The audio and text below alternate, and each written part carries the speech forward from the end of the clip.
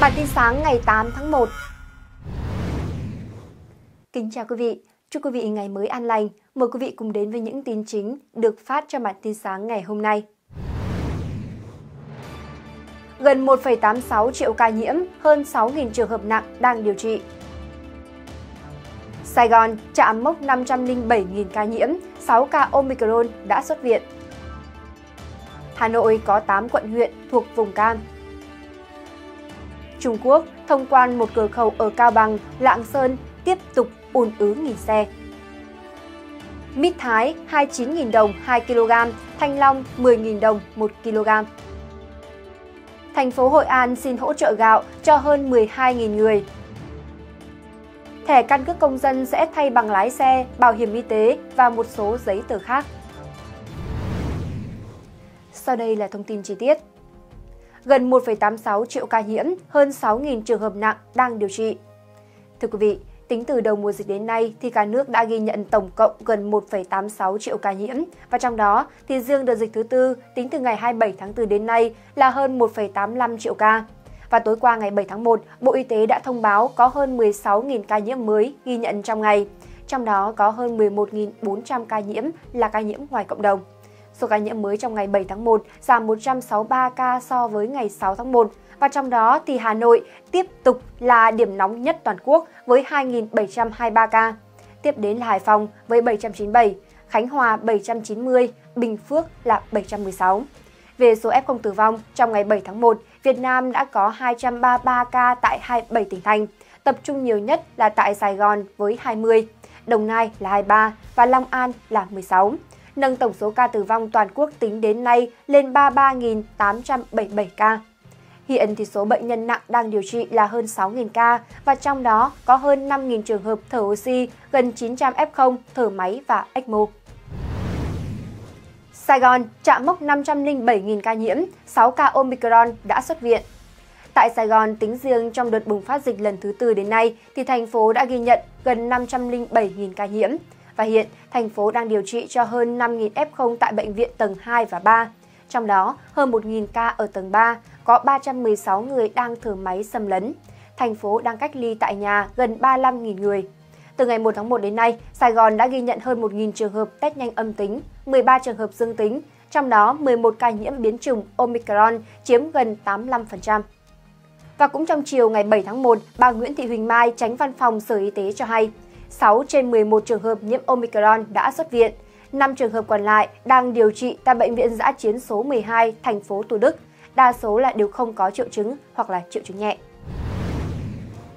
Hà Nội có 8 quận huyện thuộc vùng cam. Tối ngày 7 tháng 1, Hà Nội cho biết đang có 8 quận huyện thuộc vùng cam gồm các quận là Ba Đình, Hoàn Kiếm, Cầu Giấy, Hoàng Mai, Long Biên, Nam Từ Liêm, Thanh Xuân và huyện Gia Lâm, giảm hai khu vực so với 7 ngày trước. Như vậy thì so với thông báo ngày 31 tháng 12, hai quận là Hai Bà Trưng, Tây Hồ và huyện Thanh Trì đã chuyển từ cấp độ dịch 3 xuống cấp độ 2. Trong khi đó, quận Cầu Giấy chuyển từ cấp 2 lên cấp 3. Và cũng trong tối ngày 7 tháng 1, Hà Nội thông báo về 2.725 ca nhiễm mới trong ngày. Trong đó có 655 ca cộng đồng, nâng tổng số ca nhiễm trong đợt dịch bùng phát lần thứ tư đến nay lên hơn 65.000 ca về các biện pháp phòng dịch từ 0 giờ ngày 8 tháng 1, huyện Thanh Trì áp dụng việc phòng dịch theo cấp độ 2 tại 8 xã thị trấn gồm Đông Mỹ, Duyên Hà, Liên Ninh, Ngọc Hồi, Ngũ Hiệp, Tả Thanh Oai, Vạn Phúc, thị trấn Văn Điền. Tại 8 khu vực này, nhiều hoạt động được nới lỏng, hàng quán được phục vụ tại chỗ. Còn quận Tây Hồ từ 12 giờ ngày 8 tháng 1, toàn bộ các cửa hàng, cơ sở kinh doanh, dịch vụ ăn uống, trừ 3 phường là Bưởi, Xuân La, Yên Phụ sẽ được phép bán tại chỗ và đóng cửa trước 21 giờ hàng ngày. Ngoài ra, các hoạt động dịch vụ không thiết yếu khác cũng sẽ được quận này cho phép hoạt động trở lại. Tiếp theo là các thông tin đáng chú ý khác. Trung Quốc thông quan một cửa khẩu ở Cao Bằng, Lạng Sơn tiếp tục ùn ứ hàng nghìn xe. Ngày 7 tháng 1, Bộ Công Thương cho biết phía Quảng Tây Trung Quốc đã thông báo khôi phục thông quan lại cửa khẩu Bình Mãng, phía Việt Nam là cửa khẩu Sóc Giang, tỉnh Cao Bằng. Như vậy thì tại Cao Bằng, cặp cửa khẩu là Sóc Giang, Bình Mãng là cửa khẩu tiếp theo được khôi phục thông quan sau cặp cửa khẩu Trà Lĩnh, Long Bang.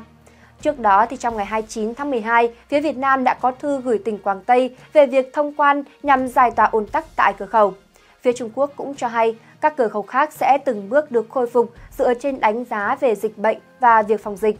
Trong khi đó, ở Lạng Sơn, tình trạng ùn ứ vẫn tiếp tục với hàng nghìn xe. Theo như cập nhật mới nhất của Sở Công Thương, tính đến sáng ngày 6 tháng 1, tổng lượng xe tồn ở ba cửa khẩu hữu nghị, Tân Thanh và Chi Ma là hơn 2.000 xe, giảm 150 xe so với sáng ngày 5 tháng 1. Sở này đã tiếp tục khuyến cáo các doanh nghiệp cân nhắc việc đưa hàng hóa lên các cửa khẩu của tỉnh. Mít Thái 29.000 đồng 2 kg, Thanh Long 10.000 đồng 1 kg. Việc thông quan tại các cửa khẩu gặp khó khăn khiến hàng nghìn tấn nông sản đang phải đối diện với nguy cơ là thối rữa và vứt bỏ. Hàng nghìn nông dân ở các tỉnh miền Tây đang phải lao đao tìm sự cứu trợ trong khi dịp Tết Nguyên đán đang cận kề. Hiện tại Sài Gòn, Tiki đã phối hợp cùng Sở Công Thương kết nối với các nhà vườn thu mua nông sản, cam kết phân phối giá gốc không lợi nhuận. Tại một số địa điểm tại Sài Gòn, Tiki đã miễn phí vận chuyển và giao nhanh trong 2 giờ. Và đáng chú ý là hai mặt hàng là mít thái và thanh long được bán trên Tiki với giá lần lượt là 29.000 đồng 2 kg và 10.000 đồng 1 kg. Theo báo Thanh niên, trong 2 ngày thực hiện đã có gần 8 tấn nông sản được bán ra. Tiki dự kiến sẽ tiêu thụ khoảng 100 tấn trái cây. Vâng, hẳn đó là một tin vui cho tất cả bà con nông dân đang lo lắng khi mà Tết Nguyên đán cận kề. Còn tại Quảng Nam, thành phố Hội An xin hỗ trợ gạo cho hơn 12.000 người. Chiều ngày 7 tháng 1 tại Quảng Nam, ông Nguyễn Văn Sơn, Chủ tịch thành phố Hội An cho biết, đã kiến nghị lên tỉnh cùng các đơn vị liên quan xin hỗ trợ gạo cho gần 5.000 gia đình tại 13 xã phường, thành phố, với hơn 12.251 người có nguy cơ bị thiếu đói trong dịp Tết Nguyên đán nhâm dần và giáp hạt đầu năm 2022. Đây là lần đầu tiên thành phố xin được hỗ trợ với mức dự kiến là 15 kg mỗi người. Theo đó, thì tổng số gạo Hội An đề nghị là gần 184.000 kg. Ông Sơn cho hay, tại Hội An du lịch chiếm hơn 70% cơ cấu kinh tế. Và trong 2 năm dịch bệnh, đã có hơn 1.000 hộ kinh doanh tại thành phố gần như là không có nguồn thu. Thẻ căn cước công dân sẽ thay bằng lái xe, bảo hiểm y tế và một số giấy tờ khác. Trong ngày 7 tháng 1, Chính phủ đã chấp thuận đề án phát triển ứng dụng dữ liệu về dân cư, định danh và xác thực điện tử. Một trong những nội dung cần thực hiện trong năm 2022 mà đề án đặt ra là việc căn cước công dân sẽ thay thế các giấy tờ cá nhân như là bảo hiểm y tế, bằng lái xe, giấy phép lái xe, mã số chứng chỉ hoặc giấy bảo hành nghề, tiêm chủng, y tế, giáo dục, thẻ cán bộ, công chức, viên chức, vân vân. Ngoài ra thì trong năm 2022, các dịch vụ xác thực thông tin đối với đương sự, bị can, bị cáo, người tham gia tố tụng vân vân sẽ tích hợp trên cổng dịch vụ của tòa án nhân dân để phục vụ triển khai tố tụng điện tử và xét xử trực tuyến. Vâng, và những tin tức vừa rồi cũng đã khép lại bản tin sáng ngày hôm nay. Cảm ơn quý vị đã quan tâm và theo dõi. Kính chúc quý vị một ngày nghỉ cuối tuần vui vẻ và hạnh phúc bên gia đình và người thân. Còn bây giờ xin chào và hẹn gặp lại.